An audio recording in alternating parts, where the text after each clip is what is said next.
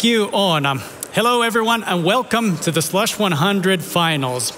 This is the pitching competition where 100 early stage startups were selected to present their company. That group was narrowed down to 20 semifinalists who we all saw at the startup studio just yesterday. And today, the three finalists have the chance to win it all here on Founder Stage. This competition embodies everything Slush is all about, helping early stage startups on their journey. Ever since our first event 13 years ago, this mission has inspired countless people to come to Helsinki and see what the latest success stories are and learn how they can help the community. It is what uh, has driven 1,700 investors to come to the cold north and see what the next and most impactful companies that they can work with are. It is what has mobilized 1,100 volunteers here today to give their time to help the entrepreneurs to find what they need here. It's their yes we can attitude that makes Slush possible in the first place. And as young people, they will be the ones driving the change in the future. And most importantly, it's why 3,200 startup founders and operators have come here to build their teams and companies to take the leap on their journey in solving the most pressing issues in the world today. A total of 8,800 people have come here today because the entrepreneurial spirit is alive, and here at Slush 2021, it is as strong as it has ever been. This year is the 10th anniversary of Slush 100. Organized since 2011, the winner has always left with a package to help them keep building their company and benefit from the greatest minds that we have here. This year, the winner's package is composed of the following prizes. We have up to $100,000 in AWS promotional credits, as well as up to $10,000 in AWS business support credits. Tickets to Slush 2022 and media and investor visibility, uh, along with an interview for Slush Media, Slush News. One year of Pitch Pro for free, and a swag pack for the winning team. And last but not least, each of the jurors here today will give one hour of free mentoring time to the winning team. Now, you of course want to know who is on the jury this year then. Well, sitting up here next to the stage, we have Principal at General Catalyst, Juliet Bailin. Next, we have founding partner at Maki.vc, Ilkka Kivimäki. Our third judge is partner at Cherry Ventures, Sophia Bendz. Fourth judge on our panel is partner at EQT Ventures, Ted Persson. And finally, we have partner at YesVC, Jyri Engeström. Thank you for being here, jurors, for helping make this competition possible today. We'd also like to thank the Slush 100 partners, Amazon Web Services and Pitch for their support in making the competition happen. So, the time has come. Are you ready to start the Slush 100 finals? Good, very good. It's buzzing like a beehive in here, so let's get started. Our first finalist is Vitroscope, a company whose goal it is to find novel drug targets with just a laptop, running mechanobiological experiments on demand automatically. Here is their co-founder and CEO, Carlo Criesi, to pitch. Carlo, please.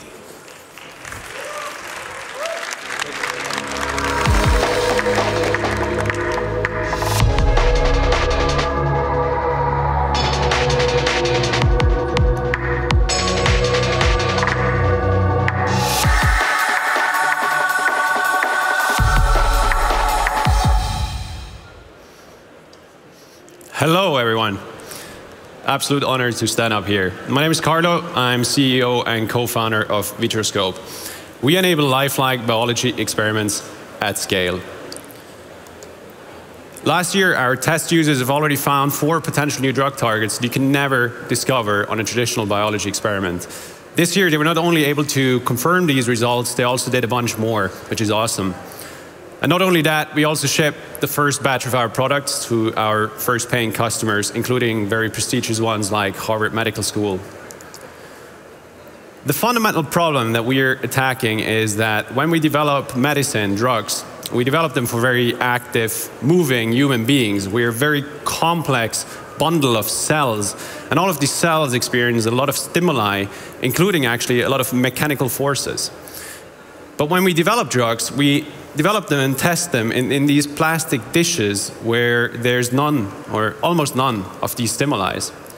And it's therefore not such a big surprise that over 90% of these drugs fail in the R&D pipeline. And that creates a $100 billion problem.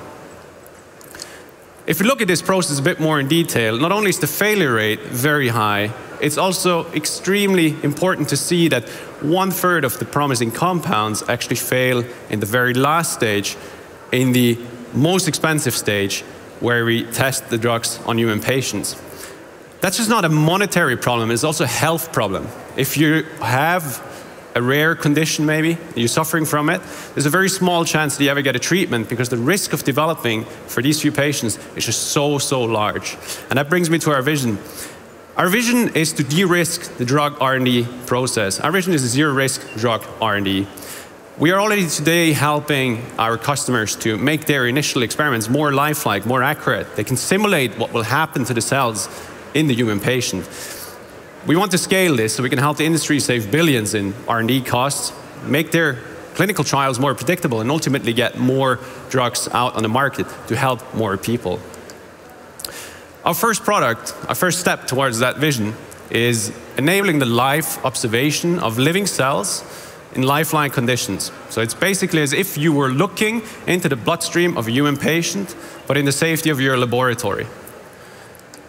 We do this with a very nice piece of hardware. It's a compact platform that allows our users to do exactly that, to look at cells in, life, in, in the live setting and see how they would react as if they were in a human patient. And what sets us apart is that we're fully online. So we create in our cloud a digital twin of what is going on on our device. So that allows us to help our customers with software solutions so they can better prepare, run, and also analyze their experiments.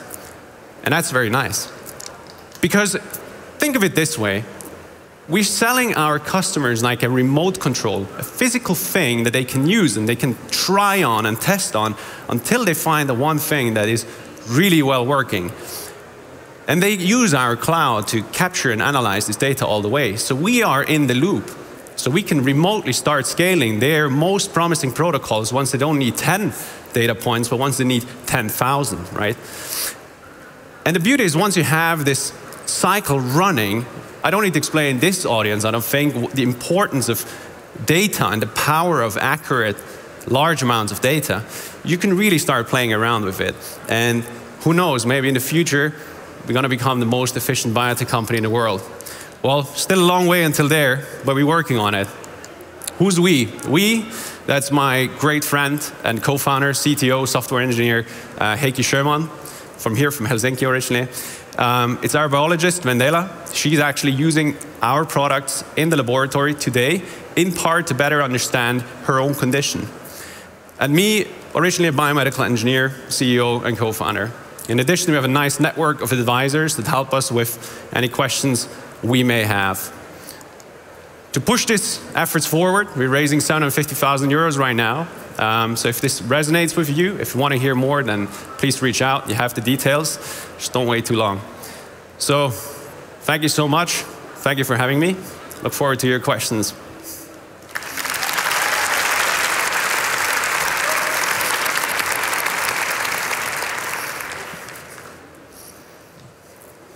Hi. Hey. Wow, that was loud. Um, so the Discovery Engine. Yeah. Um, what does it do? It's it's a it's an imaging solution. Is it like an optical image, imaging solution, or how does it work? Um, you, you, you, use the optical solution around it. So it's uh, it's uh, an integrated technology where where you expose the cells to um, a, flow-induced mechanical stress. So we, we, we leverage certain physical um, fluid dynamical effects so that we can very controlled induce forces on the cells, and you can live look at that.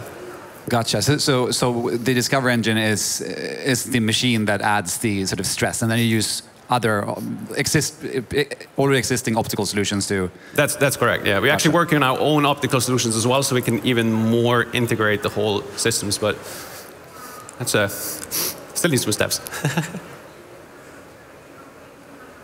Hi, thank you for a great presentation. I'd love to hear more about your go-to-market strategy and sort of who you're selling to in the end.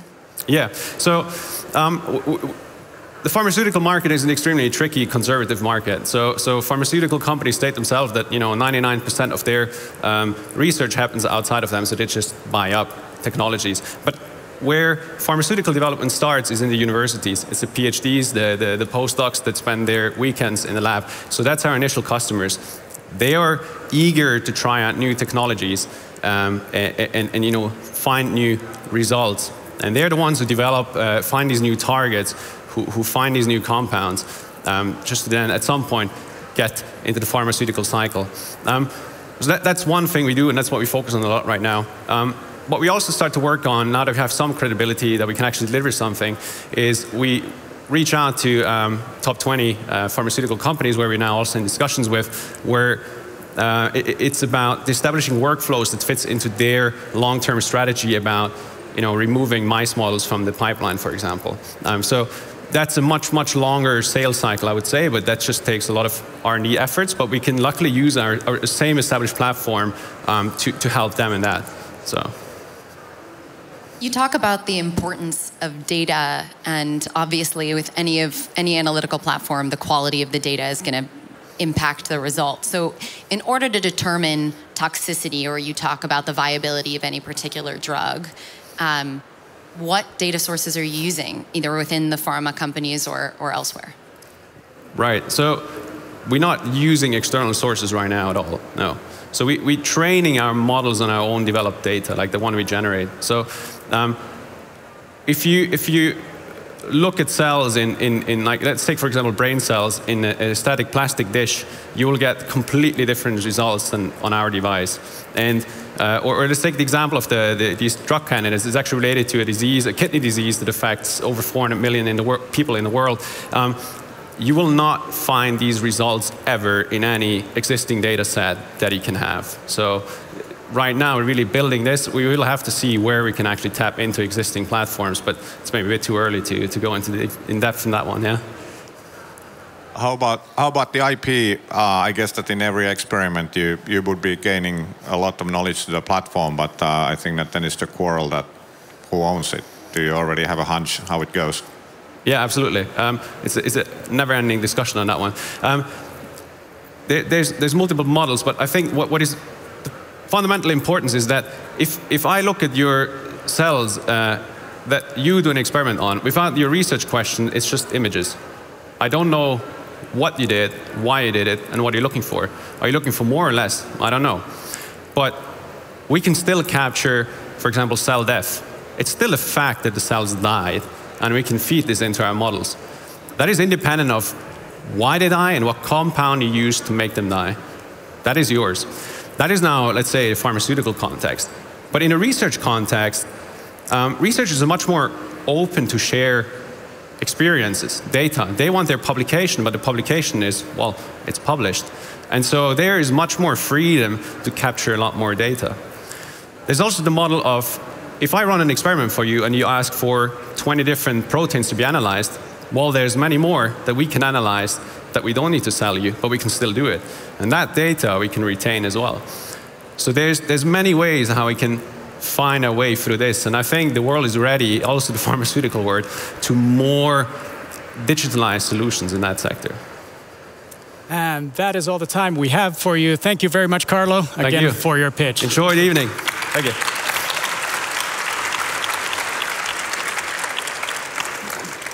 All right, moving on to our next finalist. It is a company called Hormona. Their home test helps women to test their hormones on a regular basis so they can be better aware of their health. Let's welcome co founder and COO Yasmin Tageson.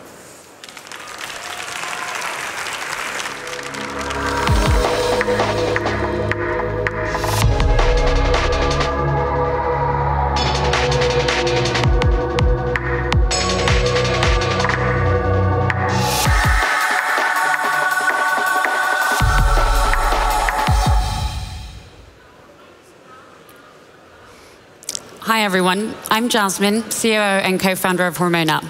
We're empowering women to live better and healthier lives through taking control of our hormones with the help of AI and at home testing. Hormonal health sits at the very center of women's health. And by 2025, hormonal health could be a $50 billion industry. But where are the unicorns? Today, 80% of all women suffer from hormonal imbalances, which in turn affect our cycles, fertility, and general well being. By controlling the most essential body functions, our hormones play a key role in our overall health and affect us women on a daily basis throughout life. Our hormones are constantly changing and changing a lot. But who guides us through these massive hormonal changes? Who tells us if a change is expected normal, or abnormal? Today, no one. But this is what we're on a mission to change. Hormona was created to empower women to live happier and healthier lives in harmony with her hormones. Our goal is to save millions of women the cost and pain of going through the same journey as our founder Carolina did, and to develop an affordable way for women to track and understand her hormones to allow for easier transitions through the various stages of a woman's life. The first part of our end-to-end solution is our app, which actually launched on the startup stage about an hour ago. And the app allows women like myself to, first of all, get a better understanding of my hormones. But it also allows me to track and monitor my hormonal symptoms, improve on said symptoms through 12-week action plans, and engage with other women in our community. Next up in the pipeline is our home hormone test, which is the first quantitative at-home hormone test testing the most essential biomarkers, which we feel is a very natural next step, complementing our existing digital solution. Our patent pending test is very easy to use. You simply take it in the morning, once a week, and scan it with your mobile camera. And by testing regularly, we can help confirm if you are going into menopause, will have problems getting pregnant, or pick up any hormonal changes that may impact your life. The company is a result of my co founder and our CEO, Carolina's personal struggle with health and well being. I joined the team because of our long lasting friendship and previous startup history. But we also have Max, our CTO, with over 15 years' experience in building technical solutions. Adina, our CPO, specializing in growth and digital health products. Our gynecologist, Katarina, who was the first chief medical officer for Flo, the period tracking app. And our endocrinologist, Dr. Rocio Salas Whalen, who is the ultimate hormone expert. And together we have over 25 years combined technical and medical experience. The global women's health market is substantial, and with hormonal health sitting at its center, and with 80% of women affected, the potential market is huge. Whenever we tell people what we do, they all ask, how does this not already exist? And we ask the same thing. So if not now, then when? Data is so desperately needed to improve women's health, as a prolonged gender data gap has meant that women's hormonal health has more or less been ignored.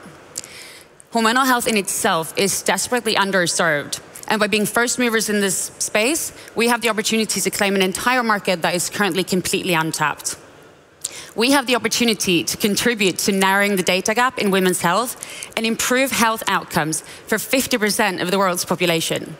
Every single woman will be affected by her hormones, and it's time we stop ignoring that. Our business model is direct to consumer subscription, and our prices are based on in depth customer research and interviews, but we also see a huge financial opportunity in working with clinics and digital health companies. So, how will we go to market? Firstly, we will utilize our existing community of over 11,000 women and continuous organic growth. But we're also partnering up with both insurance and telehealth companies to quickly reach as many women as possible. We're right now in discussions with both a large telehealth company that sees over 1 million women a month and a large insurance company that has over 2 million female customers. We're currently raising one and a half million pounds, and we have a third of our round committed. So if anyone thinks this sounds interesting, please come find me after this. I'd love to tell you more. And now, feeling hormonal should be the start of a conversation, not the end. Join us on our quest to change the future of women's health. Thank you.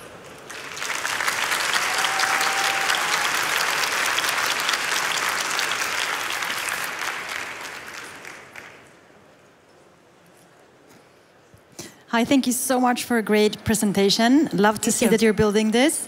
Um, I'm a big fan of what you're doing, and I agree with you that it, it's a shame that it, nothing similar had been built before. So, talking about your journey and building this unicorn, when you plan to sort of hire and attract top tier talent, what are some of the thoughts you have on building culture and growing your organization? It's a very good question, and I think um, obviously everyone wants to build a great organization where people want to stay and work and have a great work-life balance. At the stage we're in right now, we're just working really hard on getting this product to as many women as we can. Um, but obviously hiring top talent is super important and that's the best way for us to become the unicorn in hormonal health. Hey, thanks for the great presentation, Jyri from Yes. Um, can you talk a little bit about the uh, diagnostic test you're using um, and accuracy, specificity, sens sensitivity, so on? Yeah, absolutely. Um, so the test in itself, I guess the easiest way to describe it is similar to a pregnancy test. It's a mid-flow urine uh, test, and the process of it and what's unique with what we're doing is that we don't have a separate hardware. Your mobile is actually the lab. So we've developed a software that reads the intensity of the test line, that gives a quantitative test result. So we've cut out the lab, we've cut out the separate hardware, and it's a simple at-home urine test. Um, and in terms of specificity and sensitivity, they're all about positive, you know, enough positive corrects and enough negatives corrects. Um, but our test always has a positive test line because that's how we measure it. Did that answer your question? Thanks. I, I, guess what I'm getting at is, is, you know, what exactly are you measuring? Oh, we're measuring um, estrogen, progesterone, and FSH, which are the three main hormones to understand women's hormonal health. Cool, thanks. You talk about the uh, the enormous data gap in women's health, which I think is indisputable at this point. Um, and yet you also talk about helping women figure out what's normal or abnormal for them or expected. However, there's a tension there. If we don't have enough data about women, it's difficult to understand what normal is. How do you think about that problem? No, of course. And I think part of what we want to do is obviously help narrow that gap so there isn't as much of a discrepancy. But um, with our test, a woman has to test for a minimum of three cycles. That way, we establish what your normal is. And hopefully, with that, we can then understand what the greater normal is. Because maybe we don't even know what the right normal is at the moment.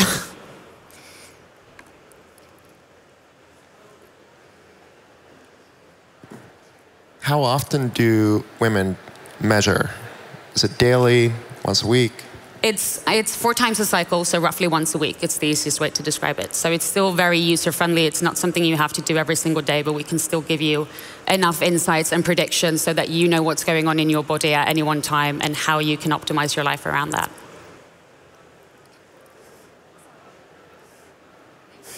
No more questions. Thank you.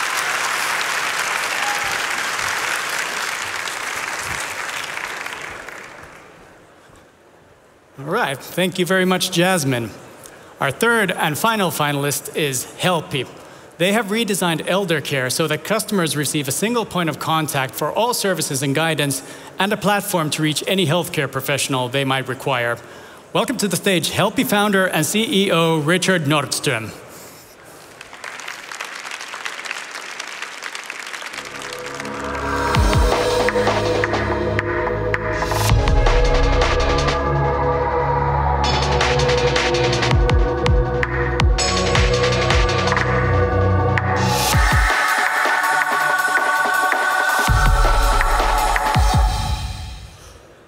I'm Richard, and I'm from Helpy. And at Helpy, we care about elderly. Elderly care is under pressure in Europe, and the symptoms are showing. Soon we have a nurse shortage of 7 million, and family members are spending 33 billion hours annually helping their loved ones as the system is broken. How did we end up here? Well, first it was easy. We had few seniors, and we had the means to use expensive care homes. Then came the push to more affordable home care, just to realize that just, uh, that, that isn't enough. The problem is that the traditional elderly care system and the model isn't scalable. And why is that? Well, there's limited innovation in this field, and there's also, in the traditional care model, there's very few economies of scale. And this leads to a very fragmented market of small players. And just in Germany, in Berlin, you have 496 care providers. And the problem from the user experience point of view, if you're a family member, is that typically now in today's care, you need to visit your loved one before and after work because you, nurses are always changing and reporting is a black box. Then during the workday, you need to coordinate most of the services and they come, as they come from different providers. And then at evenings, you need to sort out a lot of the paperwork as you're no care professional and there's really no one who you can call. I was in this situation a few years ago when I was working at BCG. And as most of you in the audience, I also thought that when I get old, the system will take care of me. But I was wrong. At Helpy, we're doing two things. The first thing is that we're creating a user experience as a family member would want it. And the second part is we're bringing a scalable model to elderly care. How are we doing this? Well, we're bringing a single point of contact for all services and guidance. We're offering peace of mind at your fingertips so you can always know that your parent is okay. And we're bringing a tech-enabled platform model that allows us to cut travel and billability waste. We can automate coordination and re recruiting. We can enable self-management on the field and create a good experience overall. And this allows us to pay higher salaries to nurses. We have a great team with complementary uh, skill sets, and we're backed by three investors who believe in our mission and who have built similar uh, unicorns in similar fields. And we have, we have great product market fit with almost 100% customer retention. And as many services have moved online during recent years and become tech enabled, first home delivery, then healthcare was digitalized, we're seeing that care is now being tech enabled as well. We come from Finland, one of the most advanced home care markets in the world, and we're launching to Europe in January. So, to all you in the audience who are balancing work, your own family, and caring for an aging parent, you are no longer alone. Visit us at helpy.com or helpy.fi and test our family portal at app.helpy.com. Thank you.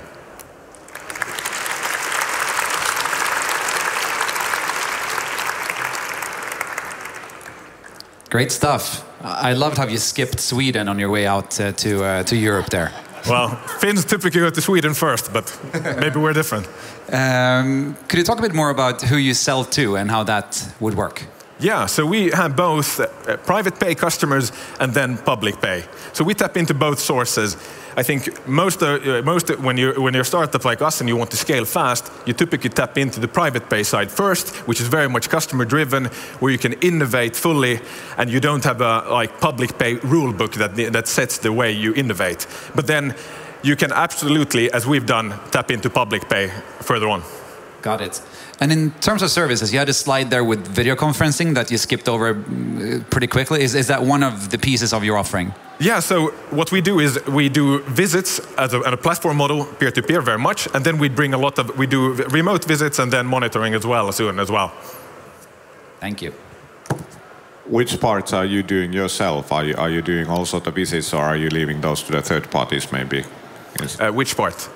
Like the visits and uh... yeah so we do we have a, a platform model. We have a, we have hundreds of nurses physiotherapists podiatrists home doctors and also some are part of some are produced by companies say like a cleaning company. So we have partnerships with them. So we orchestrate everything vet every professional that they're high quality and we, we check them.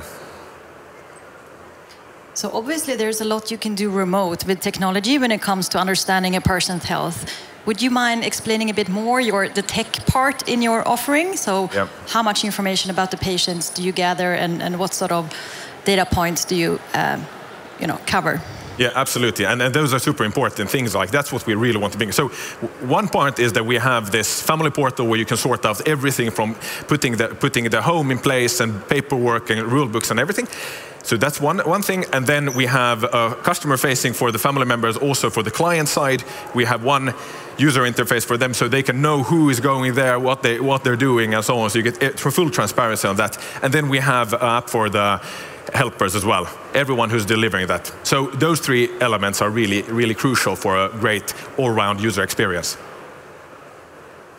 I know you skipped Sweden, and we can talk about that perhaps offline, but for any country where you're going to launch, can you yeah. talk a bit about your strategy for how you get started? Yeah, so uh, Europe has uh, multiple different types of countries and setups there. So We've categorized them into four different, uh, uh, different types, and uh, of course it's most easy to go in there where you can do private pay fully and get the foothold quickly, and then you can ramp up public pay, whether it's municipality-based or if it's insurance-based, and where the taxation goes in. So you, you, both those markets. And in terms of the service provider piece, since you are working with partners, can you talk a bit about that as well? Not just who's going to pay, but who's going to actually be on the other side? Yeah, so we have both private practitioners, like, and then we have uh, companies. So it's a, so we bring both of those into the platform to help, and also a lot of the, the IoT part. So we integrate, we we provide for us, we provide safety safety bracelets and and stuff like that also. So being really the ones who integrate the offline and online part there, and it's important to to bring all those together.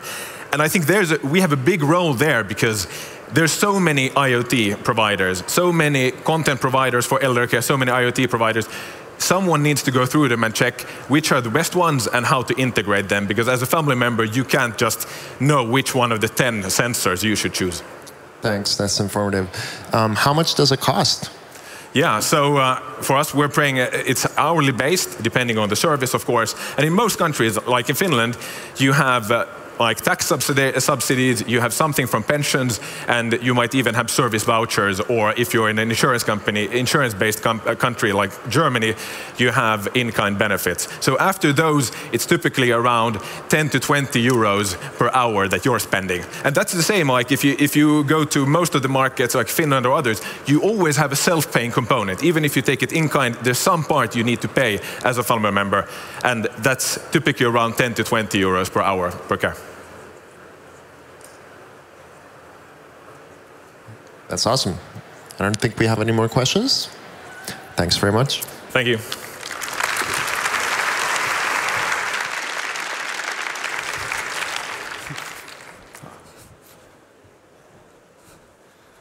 Thank you, Richard. And that is a wrap for the final pitches. Let's have one more round of applause for all of our finalists right here.